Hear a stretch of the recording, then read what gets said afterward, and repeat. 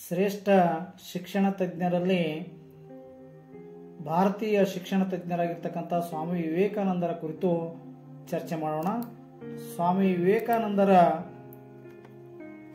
ಜನನ ಹದಿನೆಂಟುನೂರ ಅರವತ್ತ್ಮೂರರಿಂದ ಕ್ರಿಸ್ತ ಶಕ ಹತ್ತೊಂಬತ್ತು ನೂರ ಎರಡರವರೆಗೆ ಈ ಸ್ವಾಮಿ ವಿವೇಕಾನಂದರ ಒಂದು ಚಿಂತನೆಯಲ್ಲಿ ಬರ್ತಕ್ಕಂಥ ಮುಖ್ಯಾಂಶಗಳನ್ನು ನೋಡಿದಾಗ ಫಸ್ಟ್ ಪಾಯಿಂಟ್ ಪೀಠಿಕೆ ಸೆಕೆಂಡ್ ಪಾಯಿಂಟ್ ಸ್ವಾಮಿ ವಿವೇಕಾನಂದರ ಜೀವನ ಚರಿತ್ರೆ ಥರ್ಡ್ ಪಾಯಿಂಟ್ ವಿವೇಕಾನಂದರ ಮಾನವ ನಿರ್ಮಾಣ ಶಿಕ್ಷಣ, ನಂತರ ವಿ- ಸ್ವಾಮಿ ವಿವೇಕಾನಂದರ ಶೈಕ್ಷಣಿಕ ಕೊಡುಗೆಗಳು, ನಂತರ ಉಪಸಂಹಾರ. ನಾವು ಹೀಗೆ ಐದು ಮುಖ್ಯಾಂಶಗಳನ್ನಾಗಿ ಮಾಡಿಕೊಂಡು ಸ್ವಾಮಿ ವಿವೇಕಾನಂದರ ಕುರಿತು ಚರ್ಚೆ ಮಾಡೋಣ.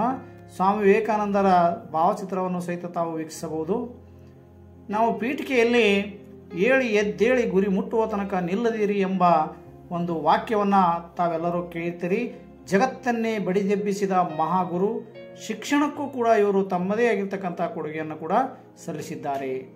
ಹಾಗೆಯೇ ಸ್ವಾಮಿ ವಿವೇಕಾನಂದರ ಜೀವನ ಚರಿತ್ರೆಯನ್ನು ಸಂಕ್ಷಿಪ್ತವಾಗಿ ನಾವು ನೋಡೋದಾದರೆ, ಸ್ವಾಮಿ ವಿವೇಕಾನಂದರು ಹನ್ನೆರಡು ಒಂದು ಹದಿನೆಂಟುನೂರ ಅರವತ್ತ್ಮೂರರಂದು ಕಲ್ಕತ್ತಾದಲ್ಲಿ ವಿಶ್ವನಾಥ ದತ್ತ ಮತ್ತು ಭುವನೇಶ್ವರಿ ದೇವಿಯವರ ಉದರದಲ್ಲಿ ಜನಿಸಿದರು.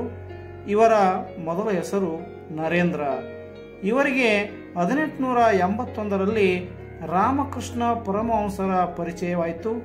ನಂತರ ದೇವರ ಇರುವಿಕೆಯ ಬಗ್ಗೆ ಉತ್ತರ ಸಿಗದಿದ್ದಾಗ ಅವರು ನಾಸ್ತಿಕರಾಗಿ ಆ ಉತ್ತರಕ್ಕಾಗಿ ಸಾಕಷ್ಟು ಏನಪ್ಪ ಅಂತಂದ್ರೆ ವಿಚಾರವನ್ನು ಮಾಡಿದರು. ನಂತರ ಹದಿನೆಂಟುನೂರ ತೊಂಬತ್ತೇಳರಲ್ಲಿ ರಾಮಕೃಷ್ಣ ಮಿಷನ್ ಸ್ಥಾಪನೆ ಮಾಡುವುದರ ಮೂಲಕ ಹದಿನೆಂಟುನೂರ ತೊಂಬತ್ತೊಂಬತ್ತರಲ್ಲಿ ವೇದಾಂತ ಸಮಾಜವನ್ನು ಕೂಡ ಸ್ವಾಮಿ ವಿವೇಕಾನಂದರು ಸ್ಥಾಪಿಸಿದರು. ನಂತರ ವಿವೇಕಾನಂದರ ಮಾನವ ನಿರ್ಮಾಣ ಮಾಡುವ ಒಂದು ವಿಚಾರಗಳನ್ನು ನಾವು ಮಾನವ ನಿರ್ಮಾಣದಲ್ಲಿ ಶಿಕ್ಷಣ ಅಂತಕ್ಕಂಥ ವಿಚಾರವನ್ನು ನೋಡಿದಾಗ, ಮನುಷ್ಯನಲ್ಲಿನ ಈಗಾಗಲೇ ಇರುವ ದೈವತ್ವವನ್ನು ಆವಿರ್ಭವಿಸುವುದೇ ಶಿಕ್ಷಣ, ಬ್ರಹ್ಮಚರ್ಯವನ್ನು ಪಾಲಿಸುವುದು, ಧಾರ್ಮಿಕ ಶಿಕ್ಷಣ, ದೇಶಭಕ್ತಿಯನ್ನು ಬೆಳೆಸುವುದು. ಜೊತೆಗೆ ವಿವೇಕಾನಂದರ ಶೈಕ್ಷಣಿಕ ಕೊಡುಗೆಗಳನ್ನು ಕೂಡ ನಾವು ನೋಡಿದಾಗ ಭೇದವಿಲ್ಲದ ಶಿಕ್ಷಣ, ಉಚಿತ ಮತ್ತು ಕಡ್ಡಾಯ ಶಿಕ್ಷಣ ನೀಡಬೇಕೆಂದು ಸ್ವಾಮಿ ವಿವೇಕಾನಂದರು ತಿಳಿಸಿದ್ದಾರೆ. ಅಷ್ಟೇ ಅಲ್ಲದೇನೆ ಸ್ವಾರ್ಥ, ತ್ಯಾಗವನ್ನು ತ್ಯಾಗ ಭಾವನೆ ಇರಬೇಕು. ಮನುಕುಲದ ಬಗ್ಗೆ ಪ್ರೀತಿ, ದುಡಿಯುವ ಧೋರಣೆ ಇರಬೇಕು. ಭಾರತದ ಸಾಂಸ್ಕೃತಿಕ ಸಮೃದ್ಧಿ ಕಾಪಾಡುವ ಮನೋಭಾವನೆ ಇರಬೇಕು. ಹೆಣ್ಣು ಮಕ್ಕಳ ಶಿಕ್ಷಣಕ್ಕೆ ಸಾಕಷ್ಟು ಒತ್ತು ಕೊಟ್ಟರು. ಜೊತೆಗೆ ತರಬೇತಿಯನ್ನು ಪಡೆಯಬೇಕು ಎಂದು ತಿಳಿಸಿದ್ದಾರೆ. ರಾಮಕೃಷ್ಣ ಮಿಷನ್ ಮೂಲಕ ಅನಾಥ ಮಕ್ಕಳಿಗೆ ನೊಂದವರಿಗೆ ಆಶ್ರಯ ನೀಡಿದರು. ಆಧ್ಯಾತ್ಮಿಕ ವಿಷಯಗಳಿಗೂ ಕೂಡ ಸ್ವಾಮಿ ವಿವೇಕಾನಂದರು ಮಹತ್ವವನ್ನು ನೀಡಿದರು. ಅಷ್ಟೇ ಅಲ್ಲದೆ ಸಮಾಜ ಉದ್ಧಾರವೇ ಪ್ರತಿಯೊಬ್ಬ ನಾಗರಿಕನ ಕರ್ತವ್ಯ ಎಂದು ಹೇಳಿದರು. ಕಲೆ, ಕಾವ್ಯ, ಧರ್ಮ, ಇತಿಹಾಸ ಮತ್ತು ಭಾಷೆಗಳಿಗೆ ಕೂಡ ಪ್ರಾಮುಖ್ಯತೆ ಕೊಟ್ಟರು. ಅಲ್ಲದೆ ನೈಜ ಶಿಕ್ಷಣವು ಆತ್ಮ ಸಾಕ್ಷಾತ್ಕಾರ ಹಾಗೂ ಸ್ವಾವಲಂಬನೆಯನ್ನು ಸಾಧಿಸಬೇಕೆಂದು ಹೇಳಿದ್ದಾರೆ.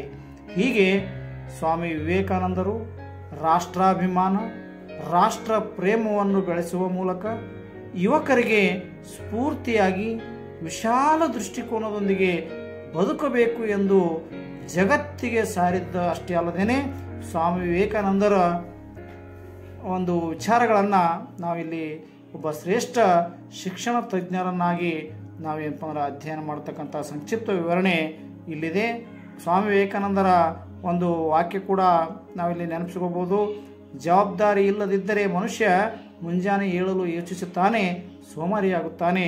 ಅದೇ ಜವಾಬ್ದಾರಿ ಹೆಚ್ಚಾದರೆ ಮನುಷ್ಯ ನಿದ್ದೆಯಲ್ಲೂ ಕೂಡ ಎದ್ದಿರುತ್ತಾನೆ, ಸಕ್ರಿಯನಾಗಿರುತ್ತಾನೆ ಎಂಬ ವಿಚಾರವನ್ನು ಸ್ವಾಮಿ ವಿವೇಕಾನಂದ